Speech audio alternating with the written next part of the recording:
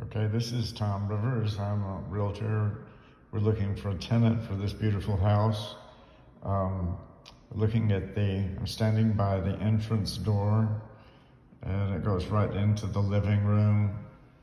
And you can see the kitchen to the left and over to the far left here is nice dining area.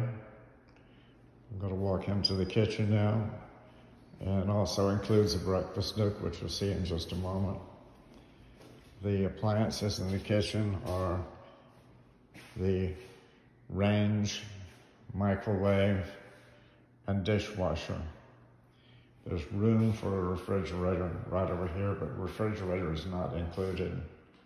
This is a nice breakfast nook and also looks out onto the patio Walking over so you can see the backyard. It's fenced, nicely landscaped, and a hammock, a nice banana tree, a Japanese plum tree.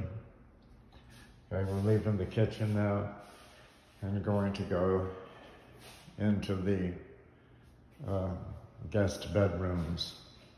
Straight ahead is the door to the utility room uh, which would have a washer and dryer, although their washer and dryer are not included in the rental. And you go from that into the garage. A nice little space for some decoration, flowers, plant, etc.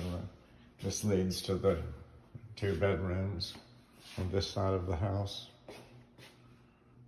Closet.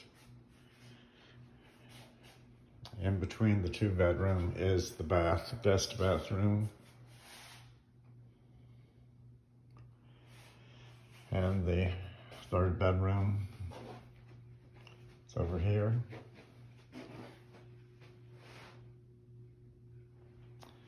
Now I'm going to walk you through the hallway,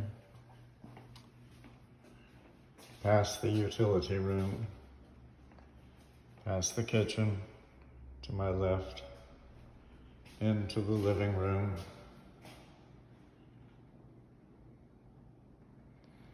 Lots of windows to let in lots of light into this house. This is the master bedroom suite. I'm gonna walk you into the master bedroom. It's a very large bedroom, beautiful wood floors.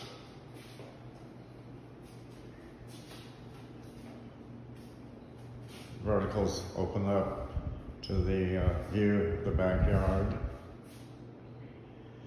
And from the master bedroom, go in past closet into the master bath. Gonna try to avoid looking at myself in the mirror. Over here is the beautifully tiled shower.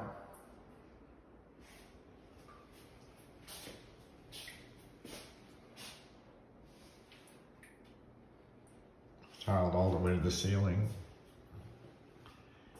And there's the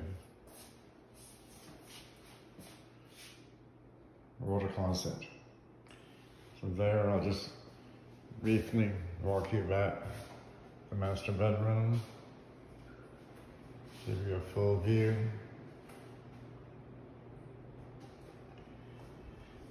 Into the living room. And back to the point where I started at the front door.